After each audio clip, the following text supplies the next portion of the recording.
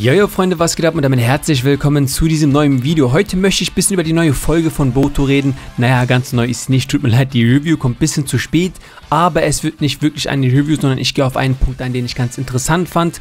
Lasst aber erstmal ein Like und ein Abo da, Leute, das unterstützt mich sehr und macht mich froh. Deswegen, wenn ihr diesen Kanal unterstützen wollt und wenn ihr mehr Boruto-Videos haben wollt, dann lasst doch ein Like und ein Abo da.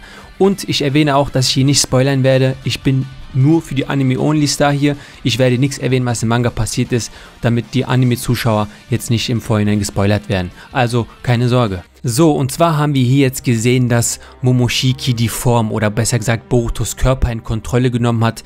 Das heißt, das ist erstmal ganz wichtig zu wissen, wenn Boruto wirklich in einer schwierigen Situation ist, dass es keinen Ausweg mehr gibt, kann Momoshiki die Kontrolle übernehmen. Erst recht, weil Boruto auch ähm, ohnmächtig war, hat Momoshiki einfach die Kontrolle übernommen. Also ist es in etwa sowas wie bei Naruto und Kurama, als Naruto die Kontrolle verloren über seinen Körper oder ohnmächtig war, kann ähm, Kurama die Kontrolle übernehmen. Es ist sogar hier einfacher für Momoshiki die Kontrolle zu übernehmen, wie es aussieht, weil Kurama natürlich versiegelt war. Momoshiki ist hier viel einfacher an die Kontrolle gekommen, nur weil Boruto in einer, ich sag mal, Notsituation war und nichts mehr tun konnte, weil er ohnmächtig war, hat Momoshiki die Kontrolle übernommen.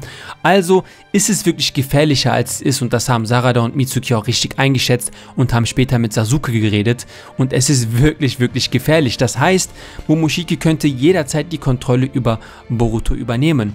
Er weiß aber, dass Boruto noch nicht so weit ist und deswegen macht er es wahrscheinlich nicht oft oder hält sich noch bedeckt, was ja auch das Logischste für ihn ist. Er möchte ja Borutos komplett, ich sag mal, ausgereiften Zustand, was genau die Ziele von Momoshiki sind, wissen wir nicht genau. Das werden wir aber bald in Zukunft sehr wahrscheinlich erfahren.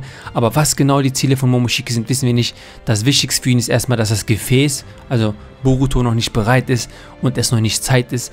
Das hat er auch selber so gesagt, deswegen ist er wahrscheinlich oder hält sich bedeckt. Aber da musste er halt eingreifen, weil er sonst getötet worden wäre von Boro und das kann natürlich Momoshiki nicht zulassen. So, worauf ich aber eingehen möchte, ist, dass Momoshiki oder Schrägstrich Boroshiki, also die dass Momoshiki, wenn er die Kontrolle über Boruto übernimmt, das heftigste Wesen in ganz Boruto ist wahrscheinlich oder eventuell das heftigste Wesen in ganz Boruto sein wird, weil das sind zwei Charaktere mit enormem Potenzial. Einmal ein Otsutsuki, was einfach genetisch gesehen einfach gesegnet ist, ja, es ist der Ursprung der Ninja und dann haben wir einen Boruto, der halt von Naruto teilweise alles geerbt hat. Also es ist wirklich das Maximum, was man erreichen kann. Das Ultramaximum wäre dann nochmal, wenn Boruto ein Kind mit Sarada, äh, Sarada kriegen würde und da noch ein Sharingan drin wäre. Aber ihr wisst, was ich meine. So Boruto mit einem Otsutsuki in sich drinne ist eigentlich teilweise schon das Maximum, was man erreichen kann.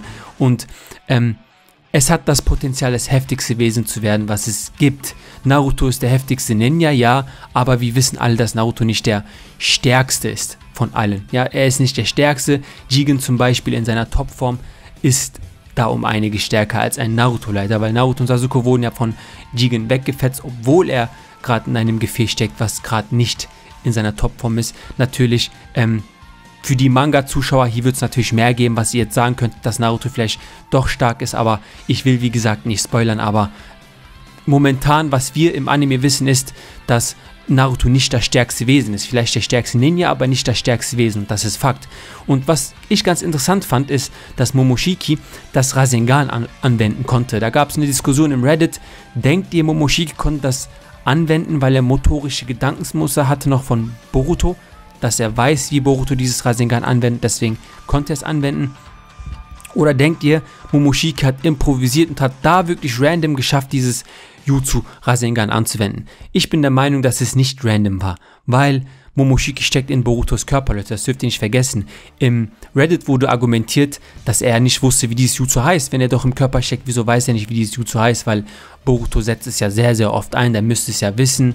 Und deswegen ist es wirklich von ihm gewesen. Wie hieß die Suits nochmal? Ach so, Rasengan. Dann hat er es angewendet, hat er versucht wirklich, ein Rasengan ist ja ein S-Rang-Jutsu. Es ist ja wirklich eines der schwierigsten Jutsus, die wir kennen und Momoshiki hat es dann einfach so mal rausgehauen. Argumentieren viele.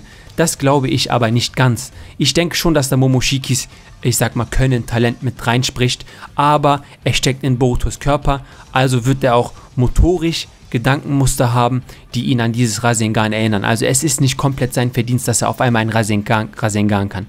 Nein, das denke ich nicht. Er ist ein Borutos Körper und deswegen wusste er, wie man das Rasengan anwendet. Nur weil er sich nicht an den Namen erinnert, heißt es nicht, dass er von Null auf einfach so mal einen Rasengan beherrscht hat. Das weiß er nicht. Er hat wahrscheinlich in Borutos Körper immer gespürt, wie Boruto das gemacht hat und kann es deswegen. Was enorm trotzdem eine krasse Leistung ist, Leute. Das müsst ihr euch mal vor Augen führen. Es ist trotzdem eine sehr, sehr, sehr starke Leistung, dieses Rasengan einfach so anzuwenden. Also ich meine, er hat selber nie versucht. Das erste, das war der erste Versuch. Sonst hat er es nur aus Borutos Körper motorisch wahrscheinlich mitbekommen. Und ich finde, das ist schon ein richtiges, richtiges Zeichen, was für zwei Monster da aufeinander getroffen sind. Einmal Boruto und einmal Momoshiki. Und ich bin mir sicher und ich unterschreibe hier, dass das das stärkste und heftigste Wesen auf diesem in diesem Naruto-Boruto-Verse wird. Also das wissen wir auch alle. Ich freue mich schon auf den Timeskip. Wie wird das eigentlich sein? Wird Boruto die Kontrolle über Momoshiki gewinnen oder wird er sich mit Momoshiki anfreunden und die Kraft von ihm nutzen, wie es bei Kurama war? Wir wissen wirklich noch gar nichts und deswegen können wir gespannt sein, was da noch passieren wird. Fakt ist, dass Boruto und Momoshiki zusammen das heftigste Wesen in Naruto sein wird. Und der Einzige, der dagegen ansprechen kann, ist Kawaki. Er wird wahrscheinlich der Einzige sein, was wir auch in der ersten Folge gesehen haben, der mit Boruto mithalten kann. Zum Rest der Folge möchte ich eigentlich nicht viel sagen, weil das wieder nur Anime-Zeugs ist. Was mich aber gewundert hat, was auch viele vielleicht gemerkt haben, dass Kawaki Shikamaru angelogen hat, weil nach dem Manga weiß Kawaki, was für Fähigkeiten Code hat, warum er es im, Manga, im Anime nicht sagt, verstehe ich nicht und mich nervt das bisschen, Leute. Ehrlich gesagt, mich nervt es bisschen, weil im Anime passieren Sachen, die im Manga nicht passieren. Sarada hat im Kampf gegen Boro schon drei Tomoe gehabt, aber im Anime hat sie nur zwei und hat damit das Shidori eingesetzt, was eine was ein enormes Talent ist. Also der Anime verändert Sachen schon extrem, extrem, extrem. Es ist nicht mal so, dass sie wirklich Sachen kurz abändern, später einführen. Nein, er ändert es extrem. Also die Anime-Studios ändern es wirklich so krass, dass es die Handlung komplett verändert. Ein, ein, ein Shidori mit zwei Tomoe zu beherrschen oder mit drei Tomoe ist ein enormer Unterschied und Sarada konnte es laut Manga nur mit drei und deswegen konnte sie das Shidori überhaupt im Kampf anwenden, aber im Anime macht sie es einfach mit zwei.